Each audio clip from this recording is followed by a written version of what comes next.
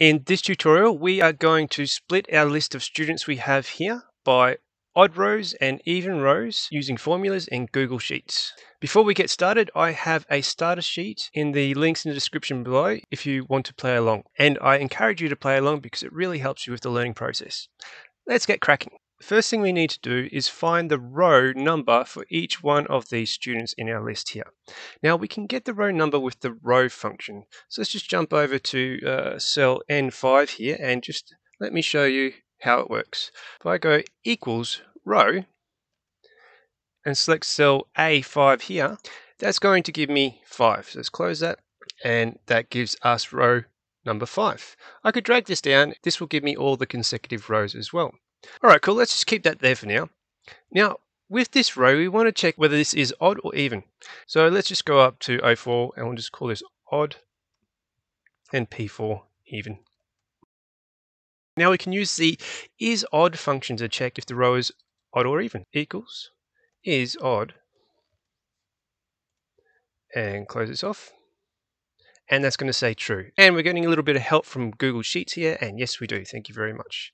And we can do the same here. We can say is even and select N5 here.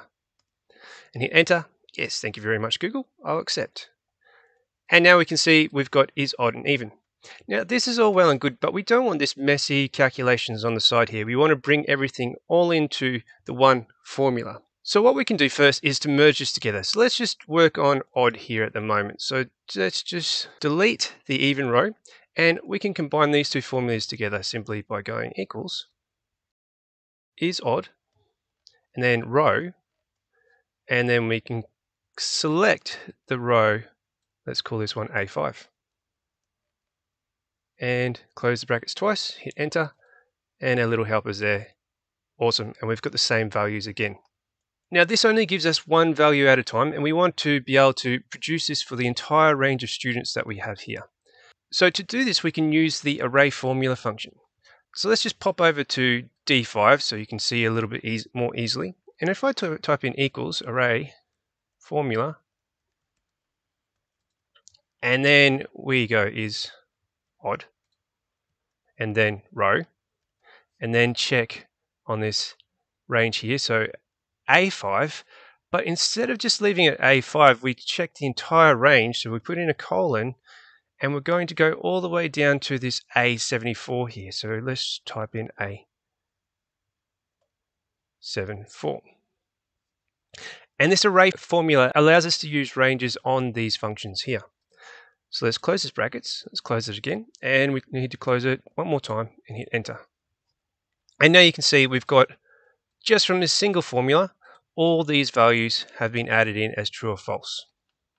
Cool. So next thing we need to do is update these two ranges here. So for our odd rows, we want to filter out anything that is even, and of course even, we want to filter out anything that is odd. So we can do this with the filter function. So let's type in equals filter.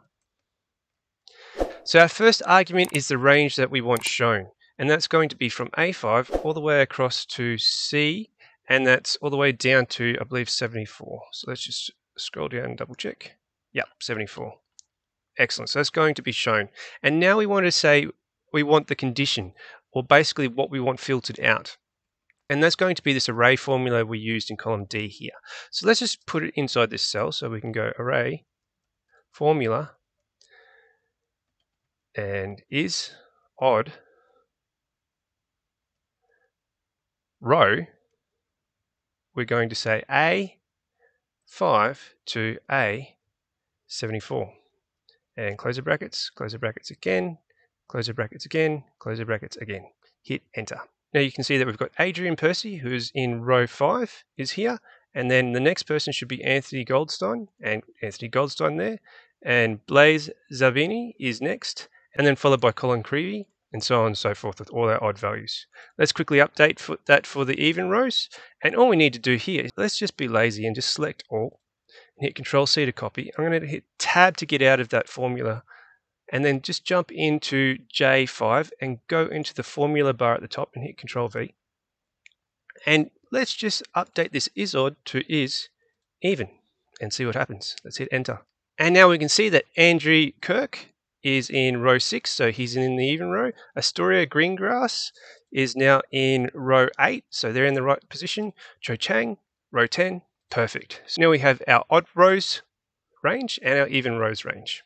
In the next tutorial, I'm going to show you how to split these students by even IDs and by their class number, whether it's even or odd. Until next time.